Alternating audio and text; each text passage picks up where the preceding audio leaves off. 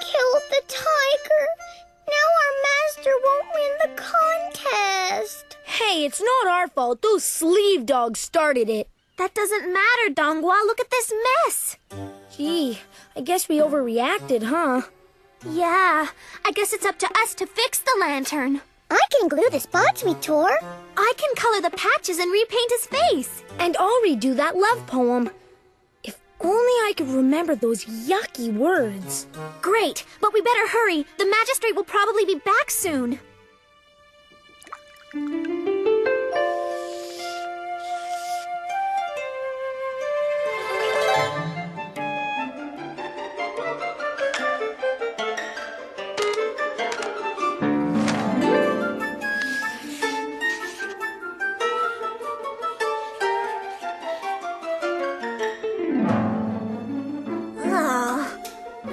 Maybe we rushed a little too much. I like it. There's no time to do it any better. Your Magistrate, I can't wait to see your prize winning lantern. It is a best quality lantern, if I do say so myself.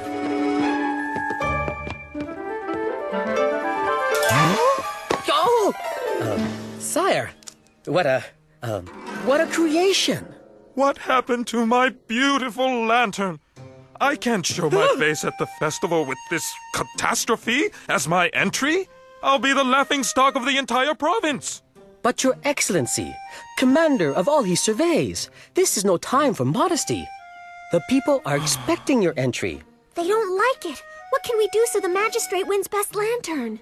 Think positive. Great idea.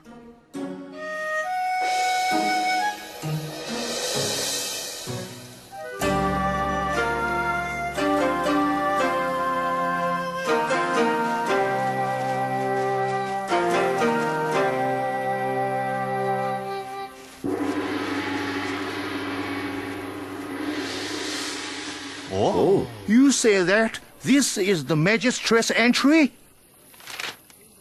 Why, yes, it is. Well, I'm absolutely speechless.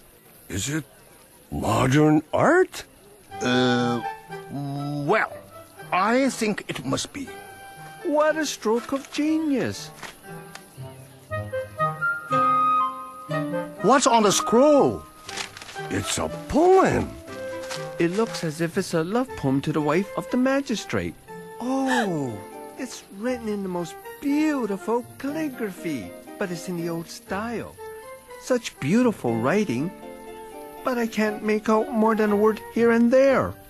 Hmm. There's wife. There's lotus flower. And uh, there's love.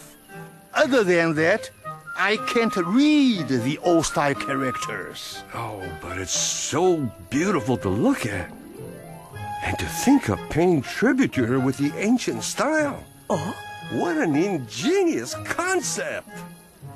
My dear, I had no idea you were such a forward thinking Renaissance man. Well, my delicate Daikon, there are many things you don't know about me. Well, Your Worthiness, there's nothing wrong with second prize. Why, it's a very good prize. Don't worry, Your Excellency.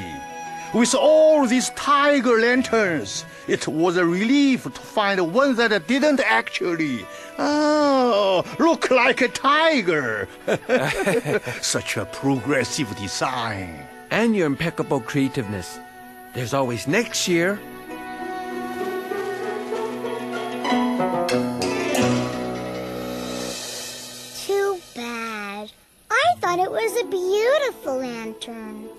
We all worked so hard to put it back together. It's funny. The judges liked the lantern just the way it was.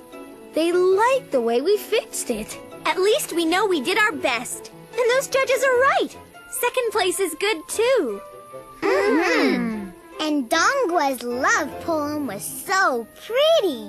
Yeah, and just how did you pull that off? Well, Papa gave me a lesson in old style calligraphy last week. When I couldn't remember the words of the poem, I decided to use the ancient style. I was hoping the judges wouldn't be able to actually read it. You know what? Maybe next year we should enter the Lantern Festival. It's a lovely lantern, my dear.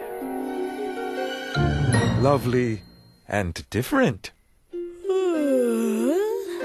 If I didn't know better, I'd think that poem was in your tail writing style, Dongwa. Oh, it's a long story, Baba. You see, first the sleeve dogs made a mess of your lantern, and we tried fixing. Maybe you should tell us tomorrow. Something tells me it's an interesting story with a very happy ending. And to think you wrote a beautiful love poem to me, and in that beautiful old style calligraphy. I didn't even know that you knew the old style.